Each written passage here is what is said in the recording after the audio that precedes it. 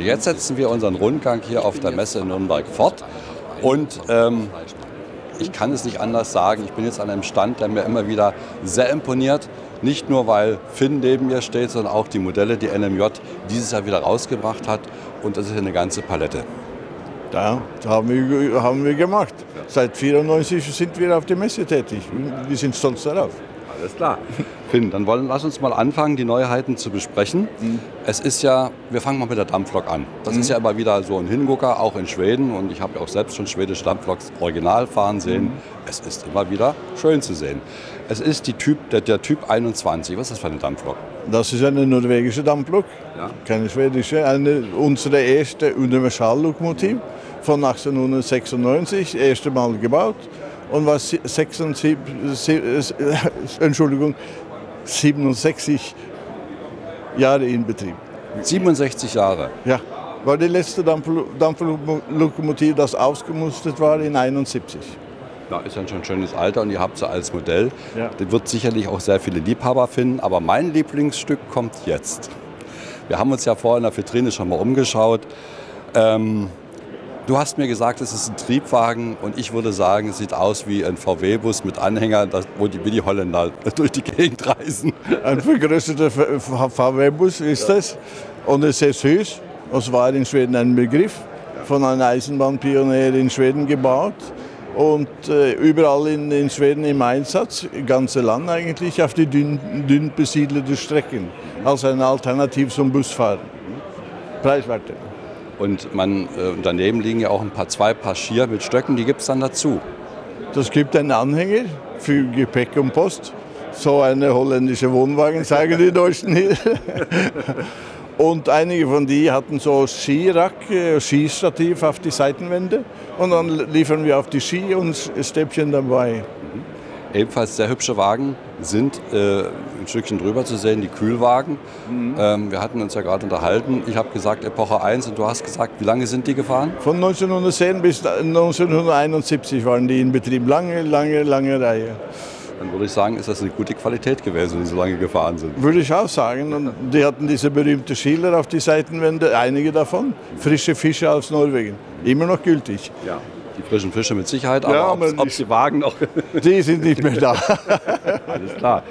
Ja, dann gibt es einen, ähm, wie soll ich sagen, einen norwegischen Triebzug. Ich habe jetzt schatzhafterweise gesagt, norwegischer ICE. Ähm, mit dem sind wir auch schon gefahren. Fred, der andere Kameramann, nickt gerade. Wir sind also schon mit diesem Zug gefahren. Der ist ebenfalls neu im Programm.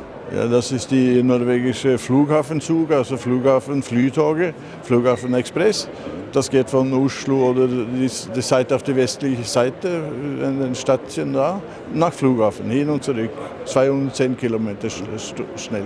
So, die Typbezeichnung war BM71. Wie muss ich mir genau. das vorstellen? Genau, das ist es. Und die haben diese Seiten, sehr aufwendige Bedruckung auf die Seitenwände mit vielen verschiedenen Motiven in eine 10 cm hohe Streifen, alles nachgedrückt.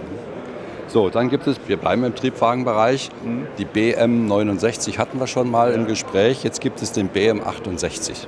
Das ist ein, wieder ein Messingmodell, also in der Superline-Serie, dreiteilige, war von 1954 bis 2002 in Betrieb und war für viele Leute eine zweite Heimat. Wenn sie schon an diesen Zug eingekommen waren, waren die schon daheim. Da dieses Gefühl und die hatten meistens feste Plätze an Bord. Und weh, hast du dich falsch hingegeben. so war das. Dann hast du Blicke gekriegt. Also ich stelle jetzt gerade mal fest, äh, die Langlebigkeit der norwegischen und schwedischen Fahrzeuge ist enorm, muss ich sagen. Wenn du sagst, die haben in den 50er Jahren angefangen, die Dinger zu fahren und zu bauen und sind bis teilweise bis 2000 gefahren. Das ist schon enorm. Das ist enorm und das sagt was um Qualität. Und wir haben nie was gehört von, von Einstellungen wegen Fahrzeugfehler oder, oder Probleme oder Wetter oder so. Die gingen in alles Wetter, von 40 Grad plus 40 Grad minus. Das war jetzt der Seitenhieb auf die Deutsche Bahn. okay. Ähm, zu diesen Triebwagen oder wie gesagt, jetzt gibt es auch neue Wagenserien. Wir haben mhm. da auch schon hier stehen.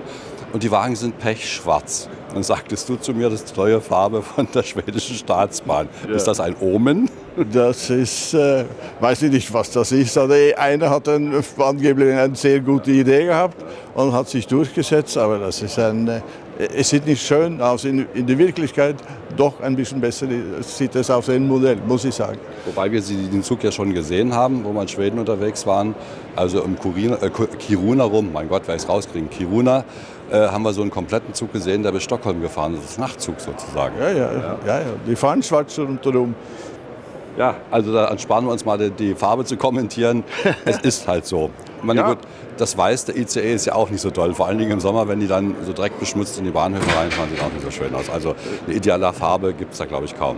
Ein bisschen langweilig ist dieses Farbprogramm in Schweden, aber wir müssen das nachmachen, so wie es ist. Wir, wir bauen das nach und äh, wir können meinen, was wir wollen, aber die Leute möchten es auch gerne haben. Also das ist ja auch Sinn und Zweck, warum wir jetzt hier stehen und ja. warum ihr das baut. Das ist schon genau. ganz klar. Genau. So, dann ähm, gibt es Holztransportwagen mit und ohne Beladung. Ja, die ehemalige Rungenwagen, die vierachsige Rungenwagen von der NSB, die waren dann verkauft, wenn die NSB mit, mit Wagenlastfahren aufgehört haben. Und dann äh, hat Privat, haben private Gesellschaften die gekauft und die erneuert und jetzt fahren die wie, teilweise wie Privatbahnwagen oder Mietwagen rundherum, ganze ja. Norwegen, Schweden. Machen wir. Dazu gibt es auch da noch die passenden Containerwagen, also neben dem Holztragwagen gibt es auch die Containertragwagen. Ja, beides von dieser gleichen Serie, ein PS-Wagen, haben wir auch Containertragwagen in dieser Arctic Rail Express, das von Oslo durch ganz Schweden bis Narvik da oben, 2000 ja. Kilometer laufen. Ja, ja. Jetzt kommen wir zu der Lieblingsstrecke von dir, zu den No-Hubs. Ja. da gibt es ja auch wieder Neuheiten. Ich meine, es ist ja immer wieder in der Vitrine zu sehen. Es ist ja schon eine ganze Reihe. Wirst du die ganze Serie mal voll kriegen? Äh, das weiß ich nicht, wie lange, lange noch, wie lange da waren. Wir haben bis jetzt 40 Varianten gemacht ja. und heute, dieses Jahr, kommt, kommt insgesamt 10 neue Varianten. Und wir haben vier, vier Prototypen hier ja. stehen lassen. Wir picken uns jetzt mal die belgische und ungarische Variante raus, ja. die äh, ebenfalls neuer, die, neu dieses Jahr ist. Ja.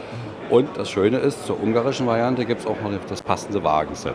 Die Kaufwagen, das ist diese Wagen, das überall in Europa gingen, 200 Kilometer Stunden schnell und auch mit nur, war auch mit nur unterwegs. Mhm.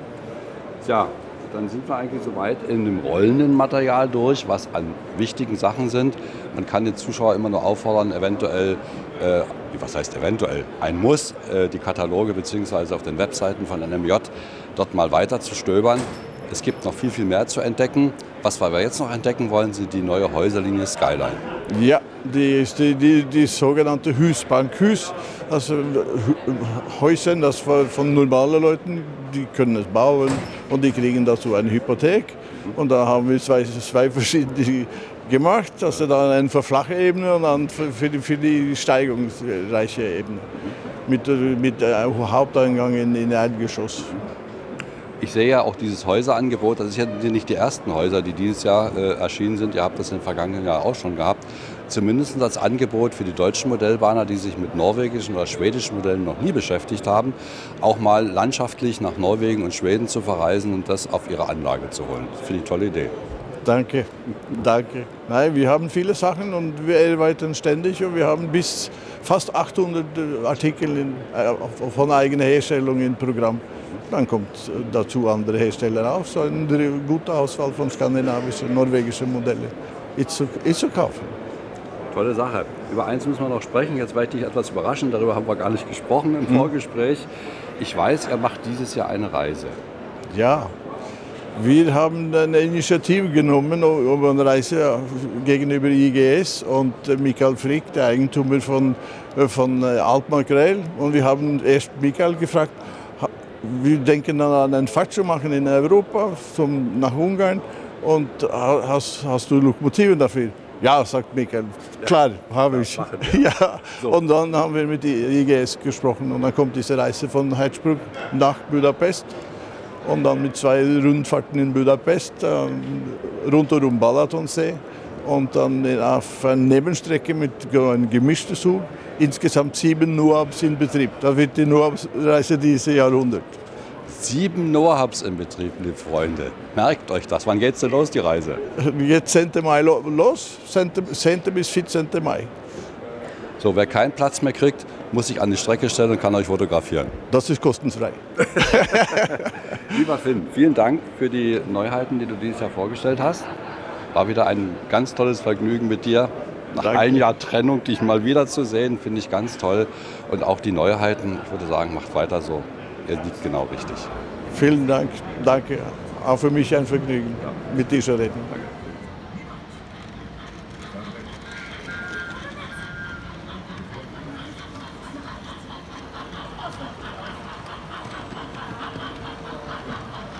Ich stehe hier zwischen Lok Emma und Lummerland. Und das war für mich auch dieses Wow-Erlebnis, als ich hier in diese Halle 4a reingegangen bin und habe gedacht, das kann ja wohl nicht wahr sein.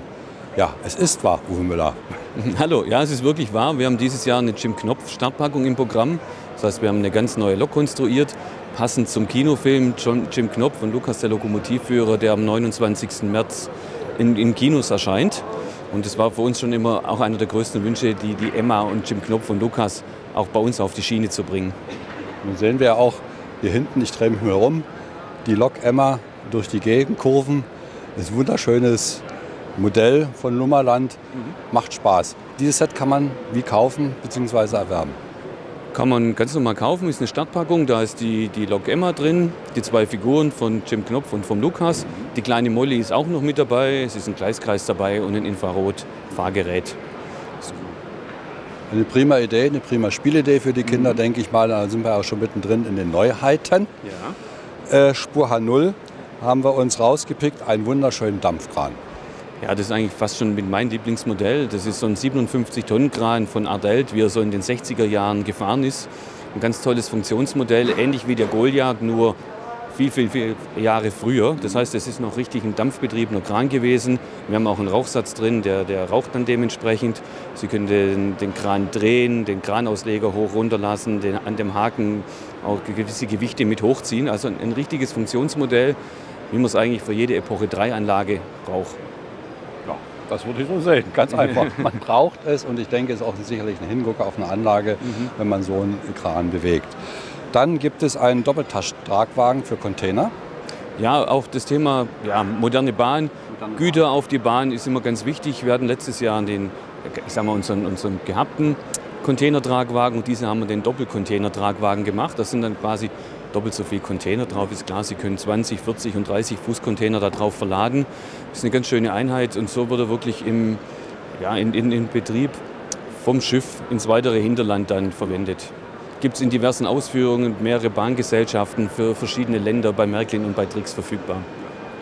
Da kommen wir auch gleich zur nächsten Neuheit, zum IC2 der Schaukelsanfte. Ich hoffe, die Bahn hat es hinbekommen, dass das Schaukeln aufhört. Aber dieser Zug ist ja ein kompletter Hingucker. Das ist ja wirklich toll, das Ding. Ist ein kompletter Hingucker. Also ich glaube, die Bahn hat es mittlerweile auch im Griff. Ja. Unser wackelt zumindest nicht. mitgefahren? Leider nein, muss ich zu meiner Schande gestehen. Also einige Kollegen waren schon unterwegs, die haben mir versichert, er schwankt nicht mehr. Und auf jeden Fall unser Modell ist eine komplette Neukonstruktion. Wir brauchen den auch für den modernen Nahverkehr oder beziehungsweise Fernverkehr. Nahverkehr sieht anders aus für den, für den Fernverkehr. Wenn man bei uns im Fenster anguckt im Modell, es ist eine ganz tolle Einheit mit den fünf Wagen, mit der passenden Zugknopf dazu. Also es ist wirklich hat auch die gleiche Dynamik wie ein ICE jetzt, wenn Sie ihn anschauen. Kann man denn diesen Zug dann bei Darf noch erweitern? Kann man noch Wagen dazwischen hängen oder ist das nicht möglich? Also Sie können theoretisch oder auch praktisch Wagen dazwischen hängen, aber so wie wir haben mit den, mit den Wagen, auch mit dem Zuglauf, wie er jetzt ist, fährt er eigentlich komplett so in dieser Einheit. Das heißt, mit dem Steuerwagen, den vier anderen Sitzwagen, ist es ein komplett abgeschlossener Zug. Mhm. Prima. Dann gibt es ja noch, weil wir gerade von E-Loks gesprochen haben, meistens mhm. ziehen oder schieben ja die E-Loks das, mhm. ähm, eine Neuvorstellung der Skoda E-Lok. Das ist ja auch eine ganz neue Lok, die auch für Skoda relativ neu auf dem Markt ist und ihr habt sie auch schon hier, ist ja unglaublich. Ja, da sind wir auch sehr stolz drauf. Wir haben von Skoda die Lizenz, eigentlich die alleinige Lizenz gekriegt im Modellbahnbereich, die Baureihe 102, also die Skoda-Lok zu machen. Wir sind auch froh, dass wir da sehr, sehr früh damit dran sind. Die fährt ja jetzt auch gerade hier im Nürnberger Raum, fährt die. Und das ist eine wichtige Lok. Ich denke, weil sie auch mal ein bisschen anders aussieht. Die normalen oder die neuen E-Loks sehen eigentlich relativ gleich aus. Und für E-Lok-Verhältnisse sieht die Skoda-Lok sehr, sehr dynamisch und, und, und, modern aus. Erstens mal das, aber eine gewisse Ähnlichkeit zu Siemens ist aber auch nicht zu verleugnen. Für Taurus mal. Ja, sie hat so ein bisschen Taurus-Anleihen, aber durch die Siegen an der Seite wirkt sie dann schon ganz anders. Also ich denke, es ist auf alle Fälle eine Top-Neuheit und dass Sie das haben als McLean ist wirklich unglaublich. Also die McLean-Freunde wird es freuen. Ja, und dann gibt es noch eine weitere Neuheit von Trix, das Krokodil. Ja, wir haben bei Märklin und bei Trix das Rangierkrokodil. eigentlich als Insider-Modell, also mit allen Formänderungen, die wir brauchen. Wir haben auch einen beweglichen Pantograph drauf. Also Rangierkrokodil hört sich immer so an, als wäre die nur im Rangierdienst tätig gewesen, war aber auch eine Streckenlok, die selbst auch im Vorspann über den Gotthard gefahren ist. Also sie hat noch mehrere Jahre da ihren Dienst getan. Und neben dem beweglichen Pantograph, dem motorisch steuerbaren, haben wir auch eine neue Telex-Kupplung drin, die viel, viel weniger aufbaut wie die alte bis jetzt, extra für diese Neukonstruktion oder Umkonstruktion von unseren Insider-Mitgliedern. Dann haben wir mit einem Highlight angefangen, nämlich hier, wo wir stehen, und wollen mit einem Highlight aufhören. Es gibt ja einen ganz berühmten Zug, der 90 Jahre alt wird, mhm. der Rheingold. Und der ist ja auch als Komplettsetzung wahrscheinlich so zu kriegen. Genau, wir haben den zum Jubiläum, wie Sie sagten, 90 Jahre äh, Rheingold von 1928, extra Zugpackung bei Märklin H0, bei Trix. Es gibt selbst in, in, Z und in N, einfach um das Jubiläum entsprechend zu würdigen, weil der Zug ist, ist ein Hingucker und es ist einfach wert, so, so, dargestellt zu werden. Wie ist das mit der Ausstattung? Sind die Wagen dann auch extra beleuchtet innen oder sind die unbeleuchtet? Muss man es selber nachrüsten? Die Wagen sind mit Innenbeleuchtung, also da alles komplett fix, alles komplett fix und fertig. Ja. Frage, gibt es noch was, was Sie jetzt sagen könnten? Ach, das müssen wir jetzt noch unbedingt durchgehen? Ich glaube, wir haben, wir haben einen großen Schritt durch alle unsere Neuheiten gemacht. Also wir haben, ja. sind weitgehend durch. Gut, dann bleibt uns nur noch zu sagen, liebe Zuschauer, Natürlich können Sie noch auf der Webseite von MyClean weiter blättern. Es soll auch ein bisschen Appetit machen, was wir hier vorgestellt haben. Es gibt auch viele Startersets und Packungen für Kinder. Es gibt ganz viele tolle Sachen, die MyClean hat. Also liebe Eltern, liebe Großeltern, sehen Sie zu, dass Sie die Kinder an die Eisenbahn kriegen. Ist ein ganz tolles Hobby. Mhm. Lieber Uwe Müller, kurz und knackig, Dankeschön. Bitteschön.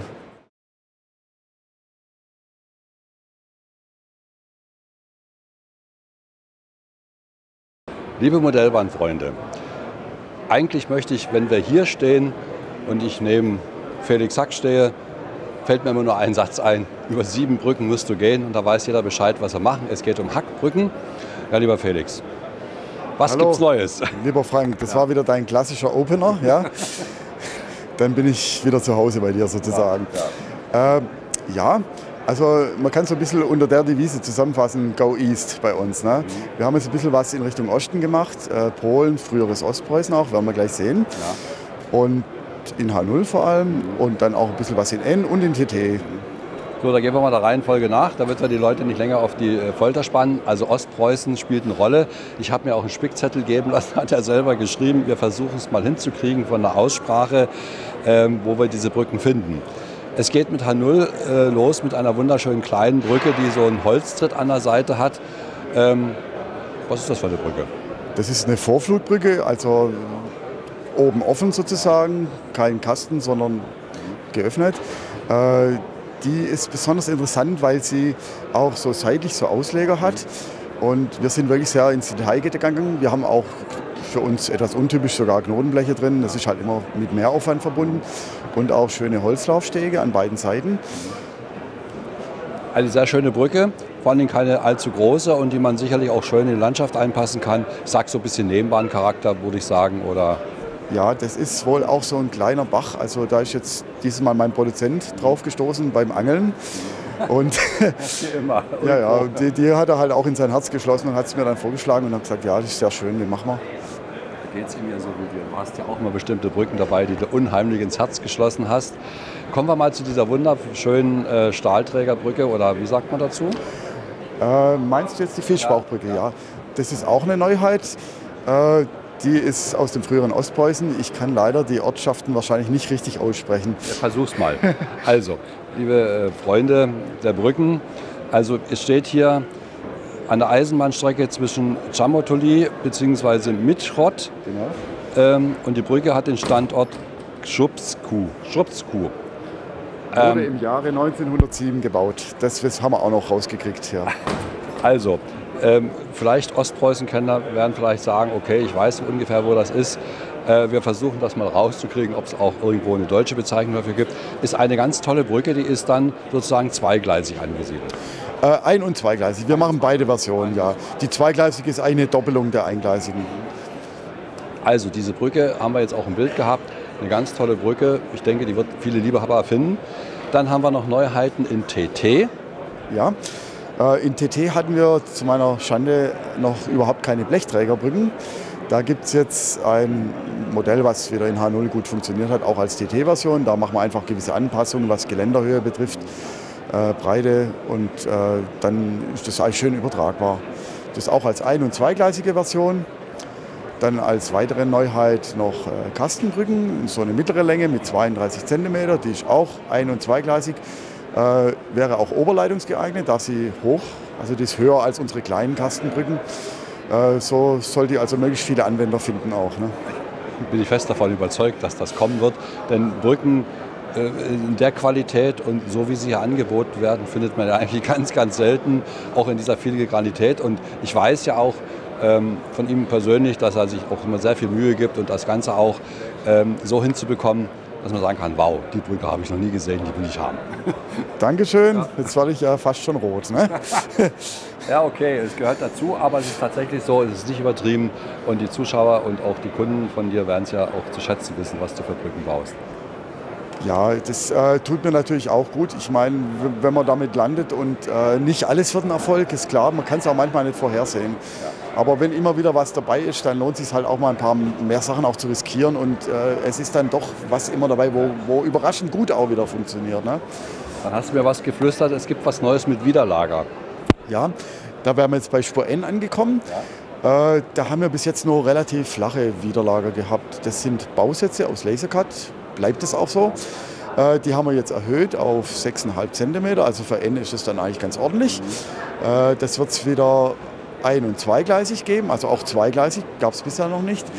Und äh, zwei Dekors, das ist äh, der Natursandstein, gelb und äh, Ziegelrot, roter Ziegelstein.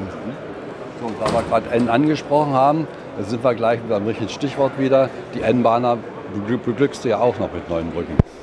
Eine Metallbrücke gibt es dieses Mal und zwar äh, ein bewährtes Modell. Blechträgerbrücke, die haben wir jetzt äh, einfach eine Langversion auch gemacht. Das gibt einfach so, stellt sich so raus, gewisse Längen sind noch gefragt, andere sind wiederum vielleicht ein bisschen zu groß, aber so dieses Mittelfeld wollen wir eigentlich äh, mit jedem Typ auch irgendwie, wollen wir vertreten sein. Ne? Und das ist dann also eine zweigleisige Blechträgerbrücke geworden, die hat diesen Träger doppelt ja. unten, das macht es dann natürlich auch immer interessanter. Die ist 42 cm lang. Also eine ganz ordentliche Länge. Kann man die auch einkürzen selber noch? Geht das? In dem Fall, die ist ja so modular, also da würde jetzt äh, nichts zerstört, wenn man da was äh, mit, mit, dem Trennschleifer oder wie immer die, die Leute das machen. Aber es, ich höre das öfters, also ich verkaufe das auch so, äh, ihr könnt es machen und es kam noch nie was zurück dass es nicht funktioniert hätte oder so. Vielleicht äh, sind die Leute dann auch eher im Stillen mit ihrem Unglück, ja, aber äh, es, ich glaube schon, dass das in der Regel gut funktioniert. Ansonsten, ansonsten muss Modellbahner halt die breite Schlucht bauen und dann ist die Sache erledigt. Dann muss man halt ein paar Lötstellen mal auftrennen. Ja die man dann halt wieder, man kann es mit dem Lötkolben ja selber, also wir brauchen nicht mal eine Flamme oder so. Also die große Hitze würde ja auch äh, zerstörerisch wirken dann. Ne?